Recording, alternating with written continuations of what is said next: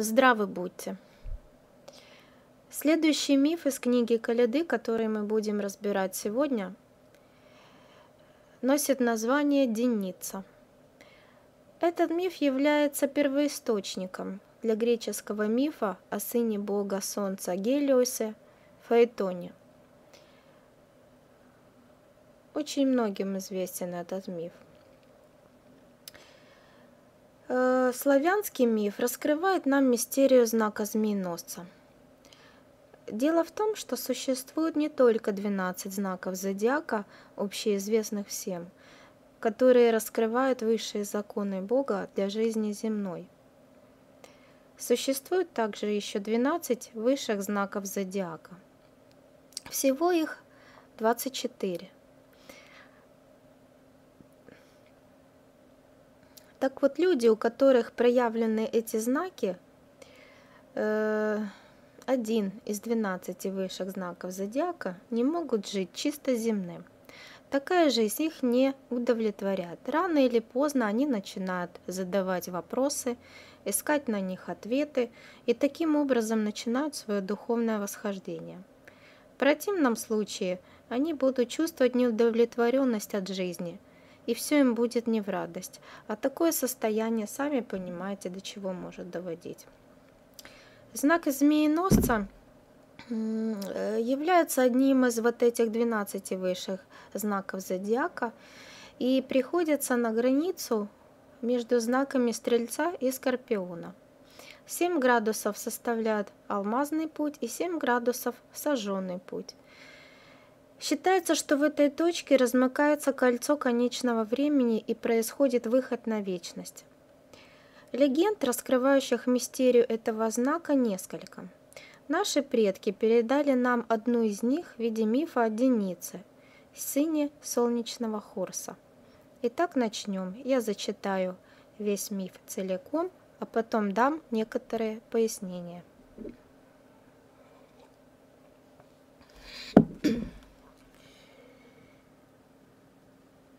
Как над синим широким морем. Не туманушки расстилались, и не зорюшки занимались. Поднимался камень горючий, и на этом камне горючем вырастала деревца ясень. Как с восточной дальней сторонушки прилетел к ясеню сокол, а близ камешка бел горючего увивалась лебедь белая то не просто птицы слетались, родуница с деницей встречались, дети Хорса и Зареницы.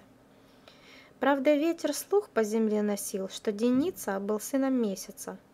Но сам Хорс признал его сыном, он простил Зарю Зареницу. Как слетались брат с сестрою, так прокричала лебедь белая.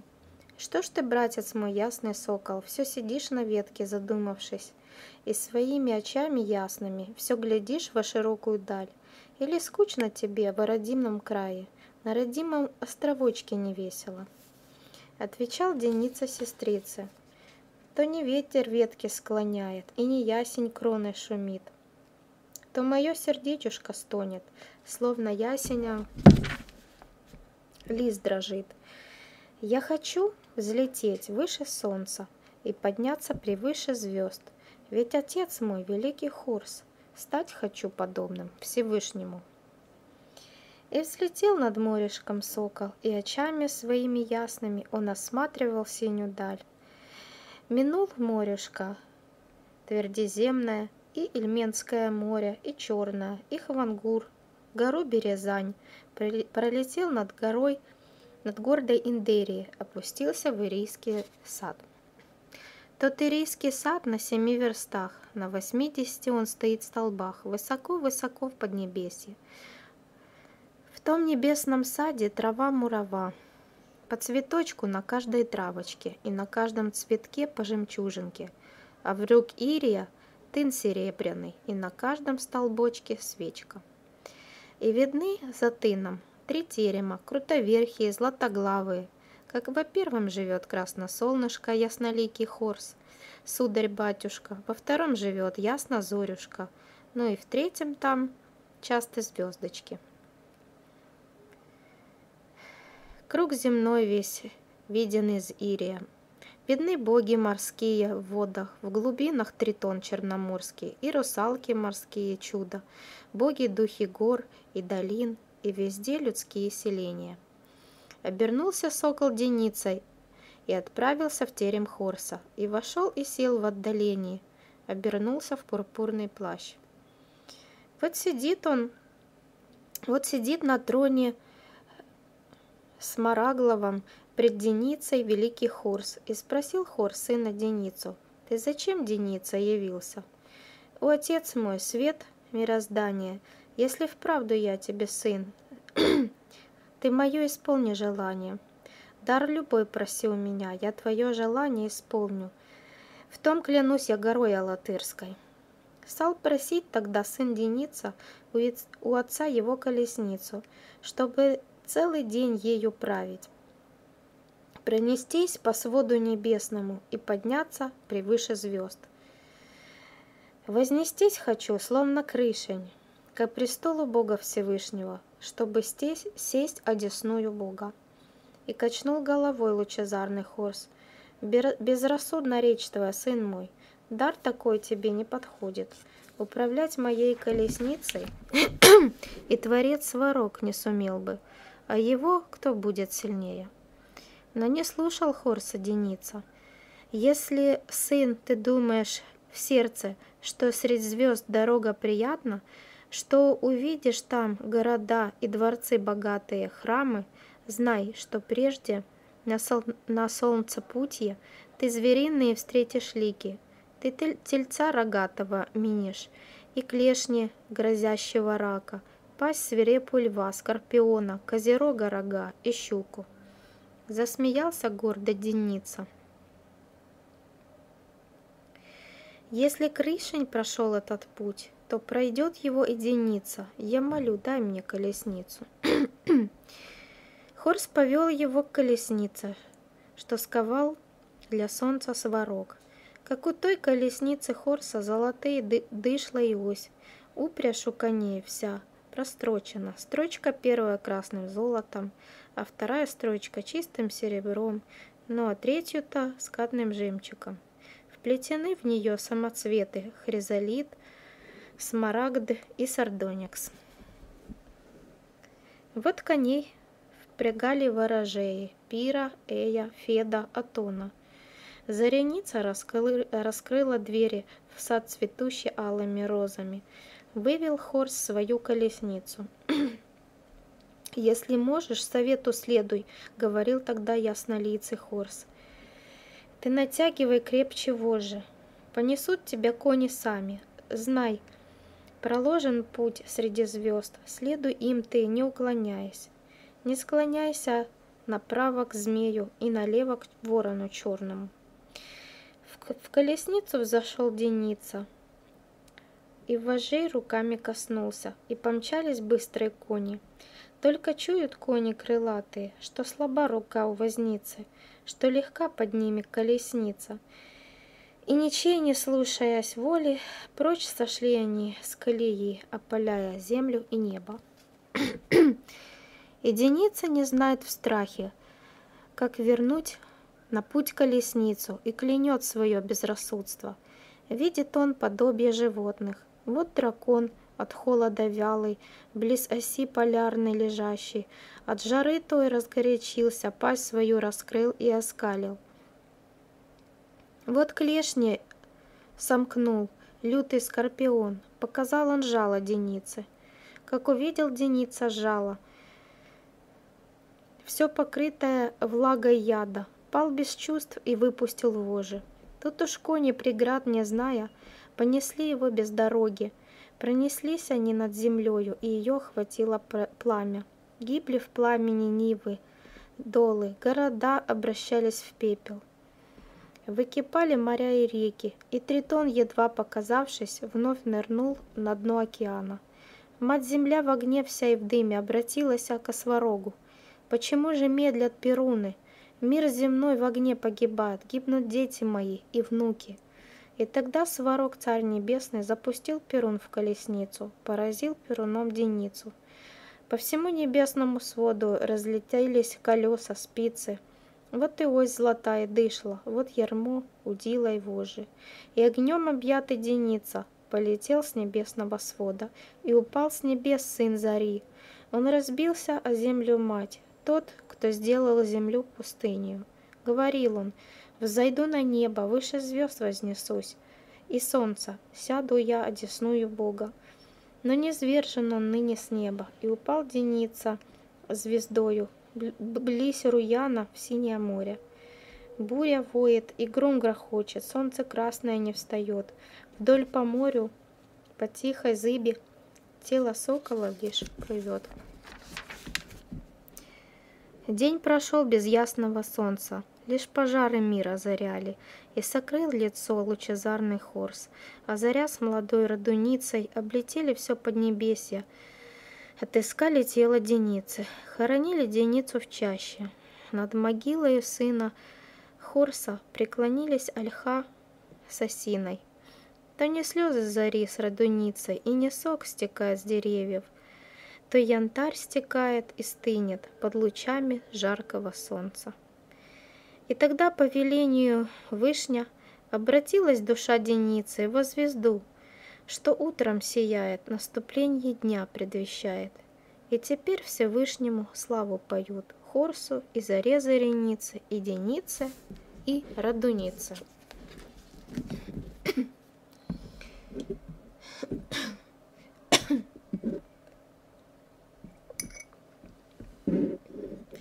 Итак, Деница, сын Хорса и Зари, ну, по слухам, сын месяца, об этом мифе говорилось в предыдущем видео, говорил, «Взойду я на небеса, выше звезд вознесусь и солнца, сяду я, одесную Всевышнего». И упал с небес сын Зари, он разбился о землю мать, тот, кто сделал ее пустынью. В чем же тут дело? Дело тут в гордыне, в раздувшемся эго. Не послушал Деница даже своего отца, мудрого Хорса – и не имея достаточно ни сил, ни умений, решил пройти солнцепутье и стать Богом, подобно Крышиню.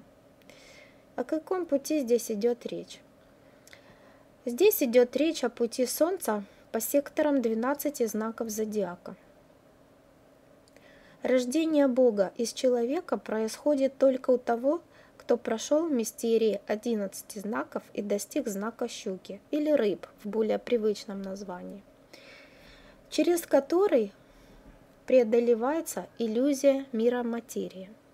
То есть тот, кто постиг мистерию знака щуки или рыб, преодолевает иллюзию этого мира материального.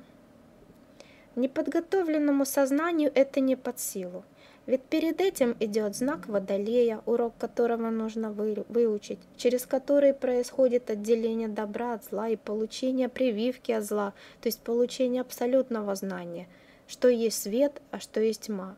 Перед Водолеем идет Козерог, где, э, э, э, где идет строительство внутреннего храма, обретение внутреннего стержня, происходит спасение себя и других.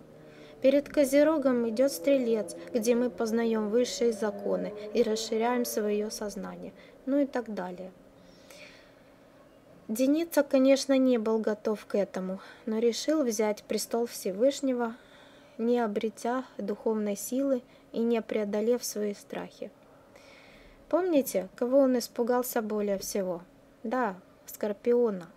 Знак Скорпиона учит преодолевать свои страхи – стать астральным воином, очистить свою карму и стать победителем смерти, то есть и жить конечное время в себе, то есть разорвать цепь перерождений в мире материальном, то есть выйти на знак змееносца. Тот, кто проходит знак Скорпиона, восходит по алмазному пути в храм Всевышнего, потому что именно со знаком Стрельца, следующего за Скорпионом, связан алмазный путь, восхождение. Именно Китаврас построил храм солнца. Тот, кто не смог преодолеть свои страхи, не стал воином и не победил змея в себе, тот падает по сожженному пути Скорпиона и оставляет за собой выжженный след. То есть вовлекает в свою карму все и всех вокруг. Кто такой сын Хорса? Я думаю, здесь обозначен человек, который начал свое духовное восхождение. Он уже имеет силу влиять на людей, на коллектив, на коллективное бессознательное. Он уже некоторым образом осветился светом солнца, светом духа. То есть у него уже есть какие-то духовные силы. Однако, возгордившись своими достижениями, решает, что он уже достаточно силен, чтобы управлять колесницей Солнца и может достичь трона Всевышнего.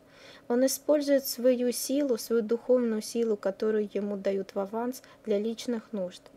Духовная гордыня приводит к плачевным результатам, а именно погибает сын солнца, ударившись о землю, то есть в таком человеке угасает голос духа, и он вновь идет в мир материи учиться. Сожженная земля символизирует образное сожжение людей от идей такого духовного, духовно возгордившегося человека, ибо они зависят от него. Почему зависят? Да потому что это уже, образно говоря, сын солнца. То есть такому человеку дано в жизни уже что-то больше, он словно светит уже, чем иным. У него уже в чем-то есть духовная сила, сила небес. Однако, не пройдя испытания эгоизмом, пользуясь этой силой для своих эгоистических целей, такие люди, имея огромную силу влияния на сознательное и бессознательное людей вокруг, естественно, которые идут за таким лидером, могут тоже духовно погибнуть. Ошибкой же Хорса было то, что он, как отец, не подтянул сына Деницу до своего уровня – а знание колесницу дал управлять, потому что сдерживал данное им слово исполнить любое желание сына. В астрологической же традиции человеку нельзя ни в коем случае самоутверждаться по функциям планеты, которая находится на сожженном пути в конце знака Скорпиона в карте рождения. Самоутверждение по этой планете ведет к тому, что можно многое разрушить и в своей жизни, и в жизни людей, зависящих от такого человека. И в греческом, и в персидском эпосе существует несколько вариантов мифов, связанных со змееносцем. Но суть у них одна – испытание на эго для человека, уже обладающего духовной силой и стоящего над толпой. Миф заканчивается тем, что Деница раскаивается в своем поведении, и после его падения боги дают ему возможность все-таки стать звездой. Ну что ж, не самый плохой выход из ситуации, когда душа после смерти, допустим, физического тела, обретает тело звезды. Желаю всем, несущим благо для людей, прежде чем это делать, подумать, а будет ли это благом действительно. Чем выше, заметнее человек, тем больше ответственность за свои слова и поступки у него перед людьми, ибо они следуют его примеру, его идеалам, они его слушают, потому что он им светит подобно солнцу. Не возгордитесь а, и Пусть вас минует падение, подобное Денице. Благодарю всех за внимание.